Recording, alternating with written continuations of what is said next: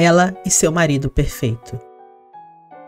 Drama chinês lançado em novembro de 2022. É um drama de romance e tem a duração de 40 episódios.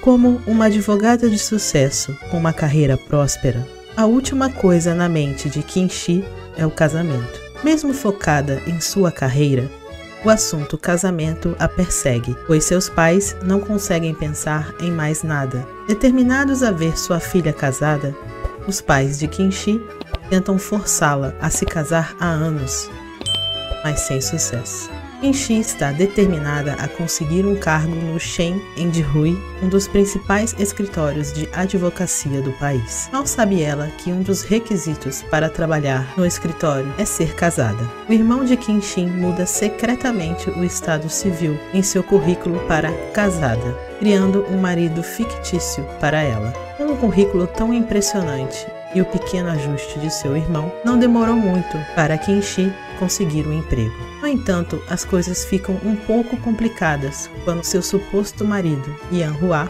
aparece. Com sua mãe o forçando a encontros às cegas e o pressionando para se casar e arrumar emprego, ele forma uma aliança com Kinshi. Yan Hua decide que a melhor maneira de sair de sua situação atual é realmente se casar com Kinshi.